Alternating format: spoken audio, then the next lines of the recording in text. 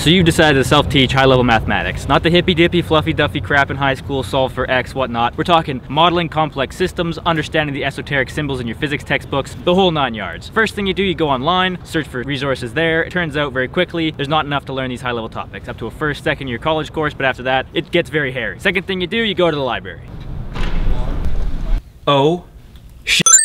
You find your way to the math shelves and you discover there's titles everywhere, all of which you have no idea what they are. For example, asymptotic analysis and perturbation theory, differentiable manifolds. What the f is going on? You ask yourself, what the hell is this? The solution, too long to go over in a short. One, read Richard Hammack's book, The Book of Proof, best introductory book to higher mathematics. Two, follow autodidact, we have a bunch of solutions here. And bonus third, get meta level skill. You're an explorer, Lewis and Clark, stumble to the underbrush, explore consciousness, you'll be alright. See you in the next one.